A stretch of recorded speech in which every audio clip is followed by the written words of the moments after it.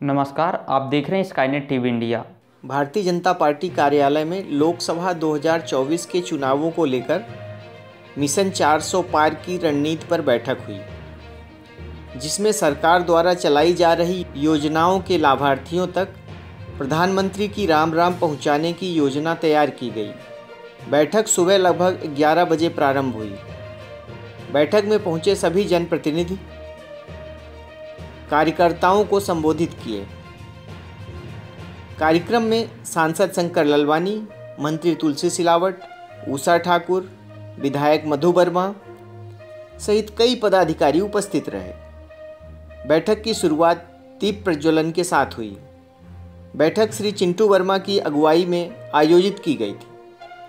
चिंटू वर्मा के जिलाध्यक्ष बनने के बाद उनकी अगुवाई की यह पहली बैठक थी।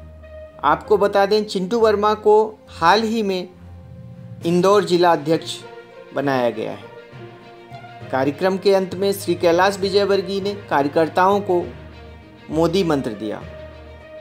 कार्यालय में स्थित चिंटू वर्मा के ऑफ़िस में जाकर उन्हें जिला अध्यक्ष बनने की बधाई दी।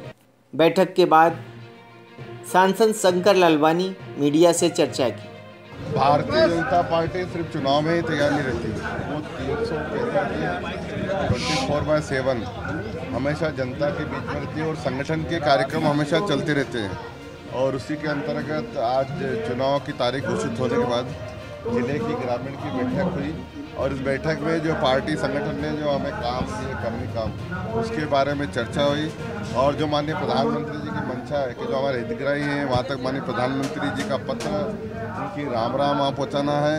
और प्रत्येक बूथ पर 370 कमल बढ़ाना है, उस उस योजना को लेकर आज रणनीति बनी है।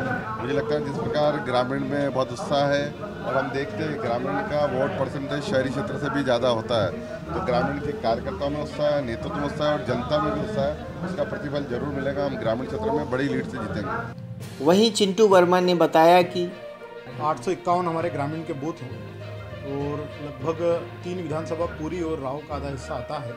हर विधानसभा में हम एक लाख मतों से अधिक से जीते हैं। और प्रत्येक बूथ पर पिछली लोकसभा से 370 वोट हमें बढ़ाना है।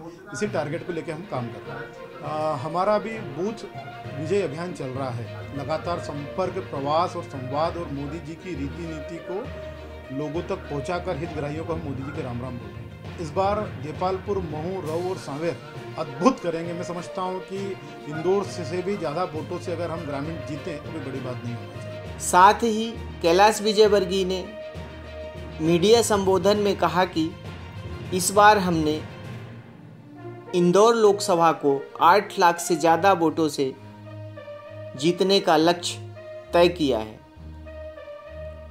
हमने इंदौर लोकसभा में आठ लाख का, आठ लाख से ज़्यादा का लक्ष्य रखा है और उसका टारगेट पूरा हो, इसके लिए सभी कार्यकर्ता पोलिंग बूथ को टारगेट करें। हर पोलिंग बूथ में माननीय प्रधानमंत्री जी ने कहा है कि पिछली बार से 370 वोट ज़्यादा मिलना चाहिए धारा 370 से हमारा भावनात्मक संबंध है। ये 370 नंबर है, इससे हमारा बड़ा भावनात्मक संबंध है। हम बचपन से एक देश में दो निशान, दो विधान, दो प्रधान नारे लगाते हुए आए तो धारा 370 की 370 को प्रधानमंत्री जी ने कहा कि हर पोलिंग बूथ पे 370 वोट बढ़ा तो हमारा टारगेट यही है। हमारे सभी वरिष्ठ कार्यकर्ता जितने भी यहाँ बैठे हुए हैं, मेरे सही हम सब पोलिंग बूथ पे जाएँ। और वहाँ पर कैसे हमारा वोट बढ़े, उसके लिए हम कोशिश करेंगे। हमें उम्मीद है कि मध्य प्रदेश की पूरी उनतीस सीट और देश में 400 से ज़्यादा एनडीए की सीट जीतकर एक बार फिर से प्रधानमंत्री नरेंद्र मोदी जी को बनाए, यह हमारा संकल्प है।